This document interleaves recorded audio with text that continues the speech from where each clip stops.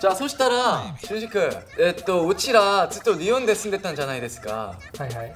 だからガットセブの漢字一文字で漢字。表現するんだったら何でしょう。それを書きましょう今から。僕自信あるからな。書けますか？いやこの漢字中軸わかるかな？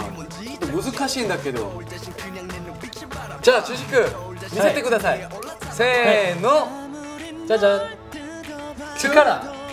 9じゃなくて力です。9でしょそれ。力なんだよ。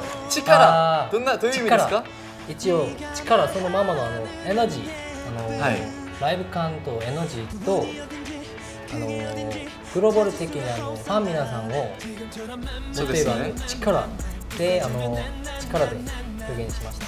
まあ、確かにガットセブンのパフォーマンス見たら力ない力がないと絶対できないのそれ。そうですそうです。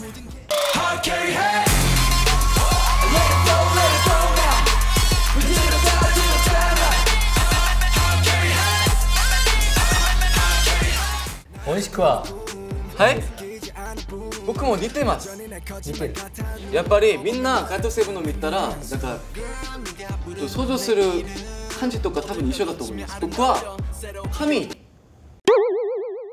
髪合ってる？それ？合ってる合ってる。お？合ってないんですよね。なんか右側。神！そうそうそれ神！イエーイ！神です。13年ぐらい住んだら分かる感じです。神なぜかっていうとまあ、はい。名前もガット。ちょっと違うんですけどガットセブンで多分神もう体力力もうパフォーマンス表情もうアイドルのアイドル。っうん。ていうことでアイドルの神だと思います僕は。確かに。神様表現うんはい。漢字は間違ったけど漢字間違ってないですよ。さあごめんごめん。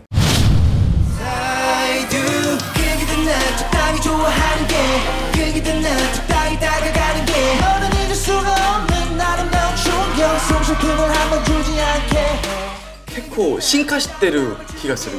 弟に僕もびっくりしました。フィジカルじゃないですか。わかる